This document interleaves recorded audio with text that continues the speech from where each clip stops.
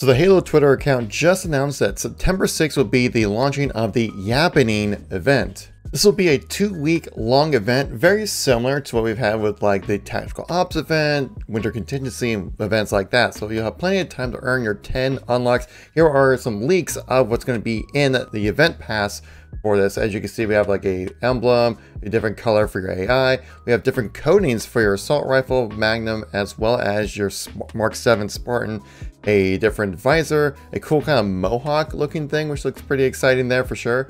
Also like a banana emblem for why not, and also a Captain Pride, a different pose, as well as a really cool death effect, which actually has been shown right here, of the death effect, which I mean, that looks pretty awesome. I definitely would be willing to rock this whenever I do actually finally get a chance to play the Yappening. We also have some insight of the weekly rewards. See, the first week is going to be a Wart Charm. This looks pretty awesome, not going to lie. And also a different visor for the second week as well. And for the announcement of the Yappening event, 343 actually made a bit of a comic, which is pretty cool, which there are a lot of hidden gems within this. As you can see with some of these images, there's that blade attachment for the helmet piece right there. There are some spray cans showcasing what the coatings are going to be looking like, and also the banana weapon charm there as well. And if you keep scrolling through, you can see some actual parts of like, looks like there's some kind of emblem beginning here. We'll begin, say, the, a fancy face glass, which is a different visor right there.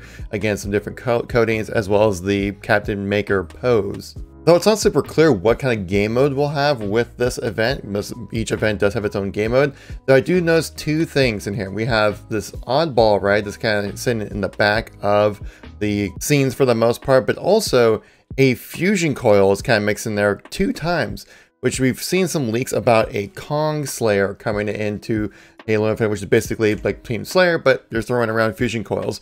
If you guys remember the Yappening back in MCC, they're more wacky, kind of fun kind of game modes, and I would assume to have something kind of similar with Halo Infinite. Of course, once we get some concrete details of what kind of game modes we're going to be having for Halo Infinite or the Yappening, I'll let you guys know here on the channel. If you want to know more about the delay when it comes to campaign co-op and the Forge beta, check out this video right here. Thank you very much for watching, greatly appreciate it. Catch you on the next one. Peace out.